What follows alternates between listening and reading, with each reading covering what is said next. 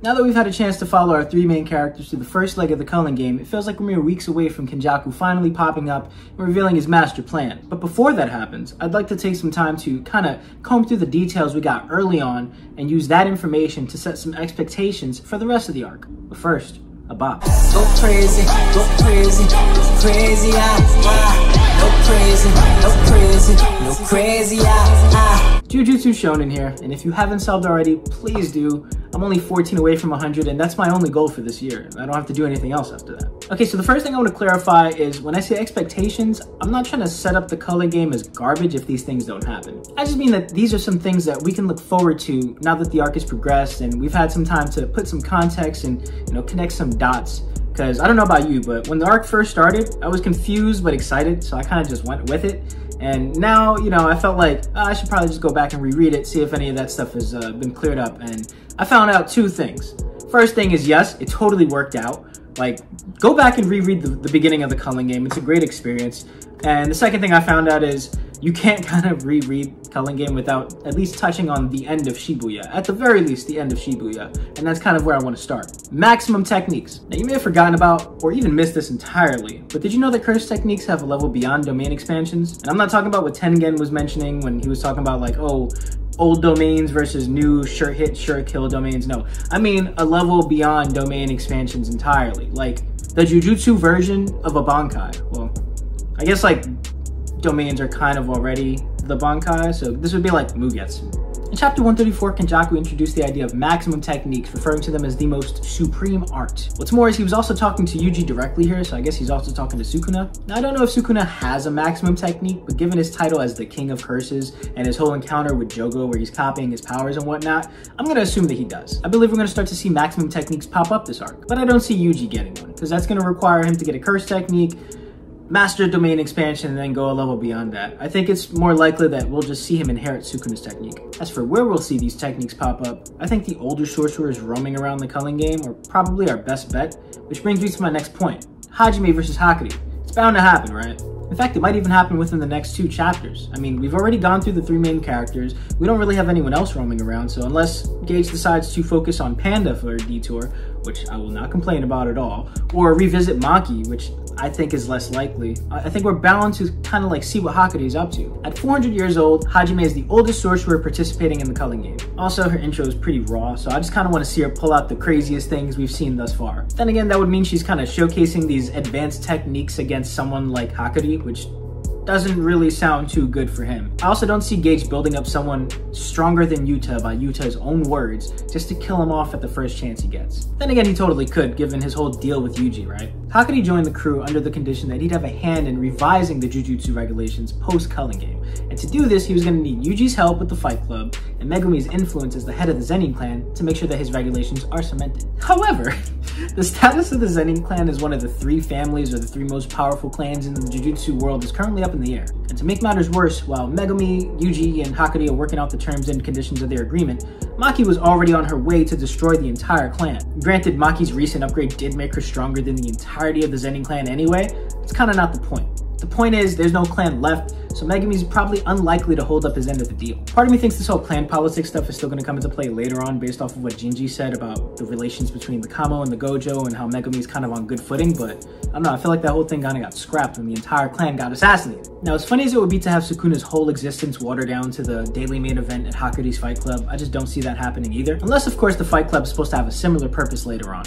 Now, between Kenjaku's speech about potential and Hakari's speech about gambling, I can see Gege kind of drawing a connection in the future. The main connection I see to Hakari's plan right now is Higuruma. Now, Higuruma never actually says anything about wanting to change Jujutsu regulations, but like Hakari, the current state of the world works in his favor. His flashback and his curse technique make him the perfect fit for the role of regulator, you know, rule creator, judge man, whatever you want to call it. So if Hakari dies, I can see Higuruma kind of stepping in for him. Although given that, you know, the team kind of needs every person that they can get right now on their side, I don't see Gege killing him.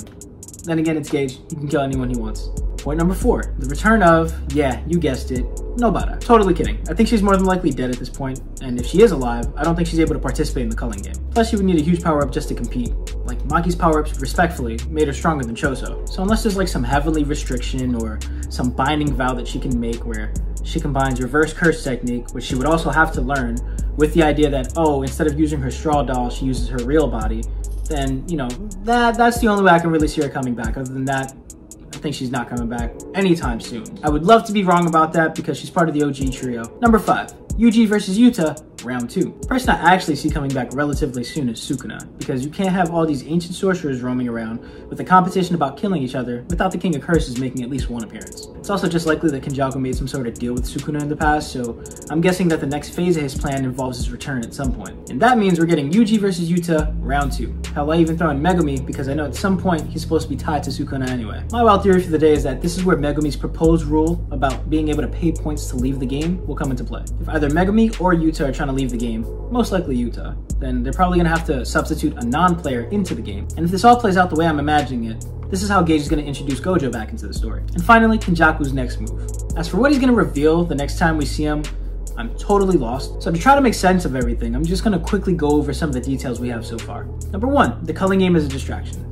And obvious, I know, but seeing as though this is one of the only things that Reggie gave us, I really want to take it into consideration here, especially since Higuruma came up with the same idea independently, and this idea went completely over Tengen's head. Number two, Kenjaku's trying to unleash something even out of his own control. Now, the King of Curses sounds like something that would fit this description, but I think that would be a little anticlimactic. I just don't think Sukuna is the end goal here. I think he's more than likely a bargaining chip or a pawn, as much of a pawn as you can make Sukuna, but I think that's the more likely scenario. Either that or the massive earthquake-causing catfish that this guy has at his disposal, which is kind of fitting seeing as though Kenjaku is a catfish himself. Number three, given everything we know about Kenjaku, what could possibly be out of his control? Judging by how calculated he's been so far and just how long he's been around, I pretty sure he has a hand in why Jujutsu regulations are so corrupt today anyway. I mean, why else would the higher-ups decide to keep Gojo sealed when he's the only thing that's been able to stop Kenjaku in the past? Number four, Kogane's purpose. Sure, Kogane's introduced as just the game's interface, but I believe there's something else going on with it. Maybe once a certain amount of points are used, a second effect is triggered. Number five, Tengen just has to go. Not just because Kenjaku is the big bad villain and we need to make the stakes even higher, but because I just don't see why Kenjaku would be negotiating with the superpower if he wasn't able to threaten the entire world with a culling game or at least spirit manipulation. See, Tengen spirit is already established to only exist in Japan, and Jujutsu sorcerers don't really exist out of Japan anyway. Maybe he can offer to make those international sorcerers a little bit stronger or create an army with them. No, not that kind of army. I just think if the culling game were at least spread across the world, that would be more than enough to make this whole sorcerer-filled world that Yuki and Geto were talking about. You know, that whole forced evolution thing. Number six, Reggie's technique was called contract renewal. And I think that's pretty important, and it should be, right? Like, Geto kind of started this arc by saying, hey, he kind of voided all his binding vows with curses and sorcerers and whatnot. So maybe it's kind of voided, but you know, I would at least like to see what that contract would have been or what type of agreement they might have worked out, if there was one at all. You know, maybe there was some sort of drawback or something that happened once Reggie died. And finally, Fujiwara and the importance of talk. While I don't know if these will have any direct connections to Kenjaku's next move, I do expect some type of exposition or like some type of correlation when his, you know, the start of his plan is at least revealed. If not now, then at least at the start of the next arc, where I think the culling game is going to bleed into, right? Some side, some sort of like new old world, new ancient times world type of thing. A couple of honorable mentions. First of all, even among the special great sorcerers that we're seeing right now, Yuji's physical prowess alone is a problem. Like, he fought Yuta and held back, and even without any cursed energy, he was able to go against Higuruma, at least for a little bit. I think that's really not to be taken lightly, and the fact that Uraume just refers to him as Sukuna's body, or like refers to his body as Sukuna's possession, I don't believe that's in the form of, you know, Sukuna possessing him. I believe, you know, it has something to do with his past, how he was created, because obviously Kenjaku has a hand in that. Hopefully that means we get more on this whole death painting relationship thing, because sure, his connection to Choso and, you know, the other death paintings will be great to get an explanation for, but uh, I need to know more about this whole Todo and Junpei situation, why he's able to affect memories. That could even be something that Sukuna was just able to do, and he just hasn't revealed yet, right? Like, we've seen him take over Jogo's power, maybe, you know, it's like a Tsukishima thing from Bleach, where he's able to kind of like insert himself into your past memories and be like, no, no, no, you taught me this before. The second one is kind of just a question, which is that Higuruma says that he got points before coming to Tokyo. You know, he does that whole courtroom massacre and I know underneath that, you know, his introduction says culling game player, but I don't know. I, I feel like that didn't happen at the right time. Like, if that was an oversight, then maybe that's explained, or maybe it's just something that I'm not seeing. Yeah, that's it. I got nothing else. Like I said in the last video, these are just organized ramblings. Now, but seriously, I'm of the camp that the best shonen are very unpredictable.